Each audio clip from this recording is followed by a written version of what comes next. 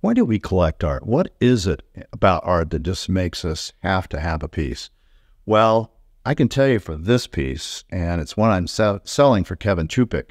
It's a piece he sent, but when I saw it, it was like, oh my gosh, this one completely and utterly gets to me. And I'll tell you why. Because I can feel a history in my own life when I see this station wagon, right? This was a Chevy Nomad. This was from 1959.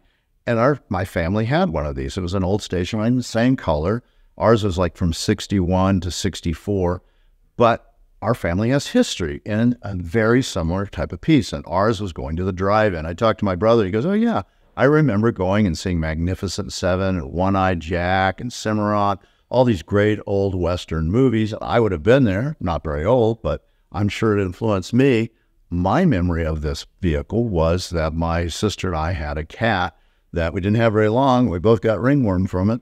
But I remember the image, and somewhere I've got a photograph of that station wagon with me in it. And it's also New Mexico, which is where I'm from. So for me, it has that sensibility of home and of a longing to maybe even be back there. So why do we collect? Well, sometimes it's just because of great memories and it makes us feel good.